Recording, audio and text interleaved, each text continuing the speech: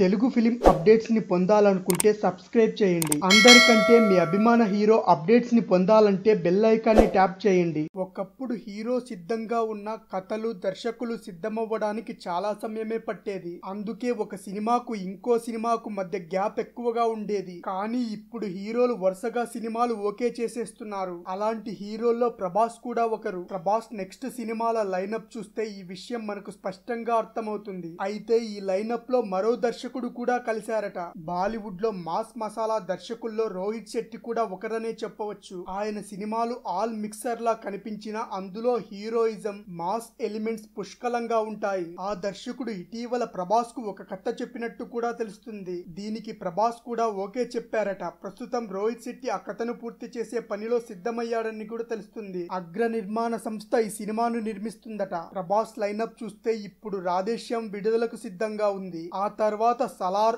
Adipurush